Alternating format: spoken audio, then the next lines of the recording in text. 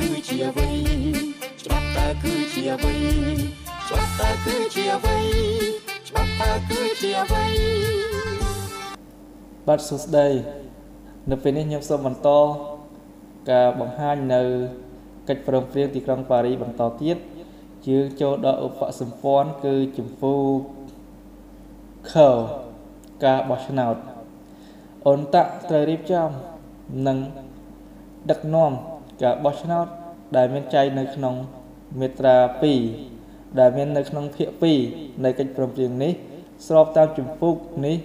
និងឧបសម្ព័ន្ធទី3 2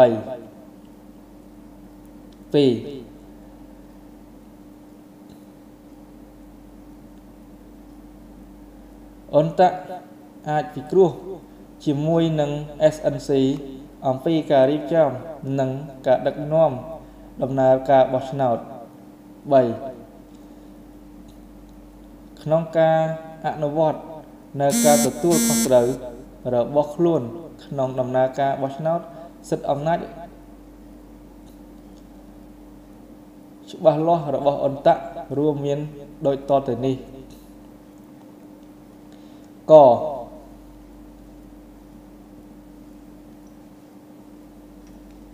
ដោយមានការពិគ្រោះ ជាមួយ SNC បង្កើតប្រព័ន្ធច្បាប់ទម្រង់បែបបទនិងវិធាននៃការរដ្ឋបាលទាំងឡាយដែលចាំបាច់សម្រាប់រៀបចំការបោះឆ្នោតដោយសេរីនិងត្រឹមត្រូវនៅកម្ពុជារាប់ទាំងការអនុម័តនៅច្បាប់បោះឆ្នោតនិងបទបញ្ជាសិលធម៌មួយផងដែលចាត់ចែងអំពីការចូលរួម ក្នុងការបោះឆ្នោតធ្វើយ៉ាងណាឲ្យស្របទៅនឹងការរៀបចំការគោរពសិទ្ធិមនុស្សនិងការហាមឃាត់ការបង្កើតបង្ខិតបង្ខំការរឹបអូសការអូសទាញតាមមធ្យោបាយហិរញ្ញវត្ថុដើម្បីជះឥទ្ធិពលទៅលើការទៅលើចំណូលចិត្តរបស់អ្នកបោះឆ្នោតខ ផ្អាកឬលុបបំបត្តិចោលដោយមានការពិគ្រោះជាមួយនឹង SNC នៅបទបញ្ញត្តិច្បាប់ដែលមានស្រាប់ណាដែលអាចធ្វើឲ្យបរាជ័យដល់កម្មវត្ថុនិងគោលបំណងនៃកិច្ចព្រមព្រៀងនេះកតាក់តែងនិងអនុវត្តកម្មវិធីមួយមួយ អប់រំដល់អ្នកបោះឆ្នោតរួមមានទស្សនវិជ្ជាទាំងអស់នៃការបោះឆ្នោត ដើម្បីគ្រប់គ្រងដល់ដំណើរការបោះឆ្នោតខតាក់តែងនិងអនុវត្តប្រព័ន្ធចុះឈ្មោះអ្នកបោះឆ្នោតមួយ ដែលដំណាក់កាលទី1នៃដំណើរការបោះឆ្នោត ដើម្បីធានាឲ្យអ្នកដែលមានសិទ្ធិបោះឆ្នោត មានឱកាសទៅចុះឈ្មោះនិងរៀបចំតទៅ ទៀតនៅបញ្ជីឈ្មោះចុះបោះឆ្នោតដែលមានបញ្ជាក់ហើយ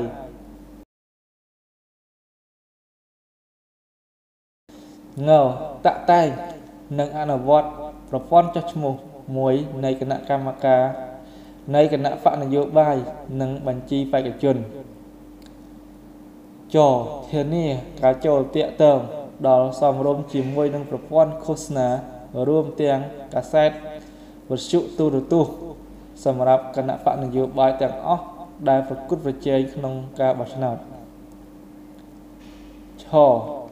អនុម័តនិងអនុវត្តលើវិធានការទាំងឡាយដើម្បីការតាមដាននិងការសម្រួលការចូលរួមរបស់ប្រជាជនកម្ពុជានៅក្នុងការបោះឆ្នោត យុទ្ធនាការឃោសនានយោបាយនិងទម្រង់បែបបទនៃការបោះឆ្នោតជើ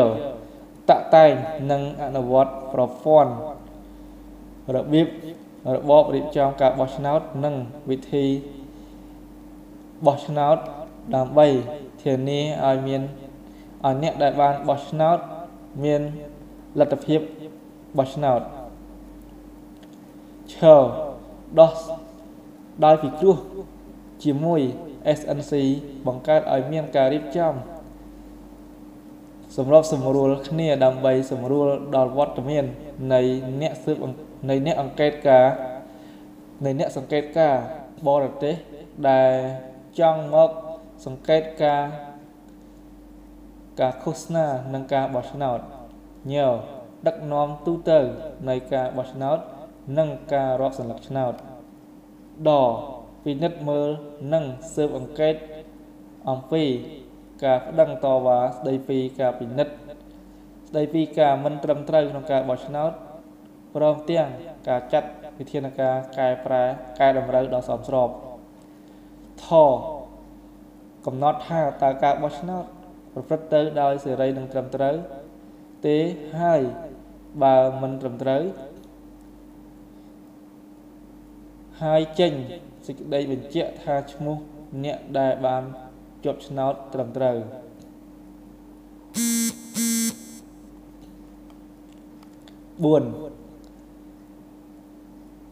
ក្នុងការអនុវត្តការទទួលខុសត្រូវរបស់ខ្លួន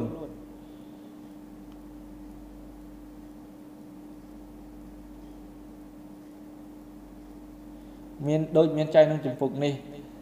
អន្តៈត្រូវបង្កើតប្រព័ន្ធការពារមួយដើម្បីជួយខ្លួនឲ្យធានាបានថាគ្មានការលួចបន្លំក្នុងដំណើរការរាប់ឆ្នោតបោះឆ្នោតរួមទាំងការរៀបចំឲ្យមានបណ្ដាលតំណាងកម្ពុជាចូលរួមអង្កេតការអង្កេតបែបបទនៃការចោះឈ្មោះនិងបោះឆ្នោតព្រមទាំងការបង្កើតយន្តការ របស់អន្តៈមួយសម្រាប់ទទួលពាក្យបណ្ដឹងនិងសម្រេចអំពីការតវ៉ា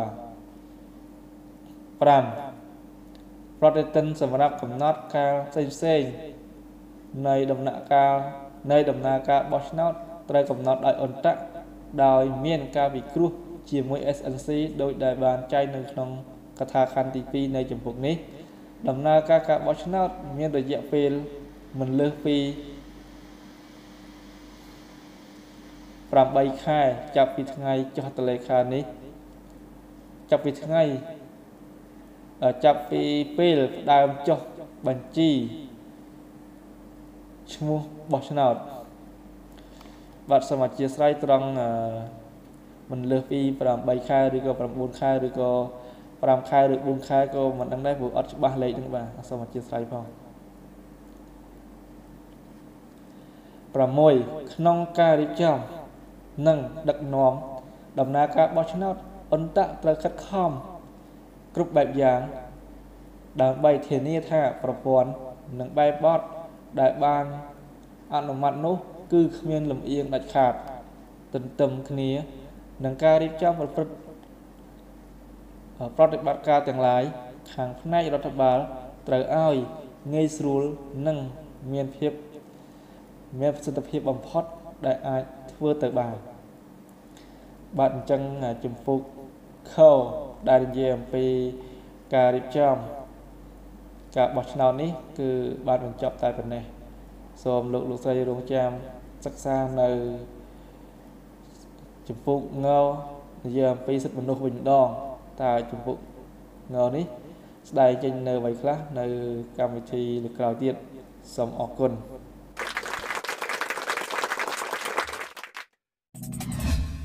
នាងខ្ញុំសូមថ្លែងអំណរគុណចំពោះការតាមដានទស្សនារបស់អស់លោកអ្នកនឹងវិលមកជួបទូរទស្សនិកជននៅសប្តាហ៍ក្រោយតាមពេលវេលានិងម៉ោងដដែលសម្រាប់សប្តាហ៍នេះសូមអរគុណសូមគោរពលា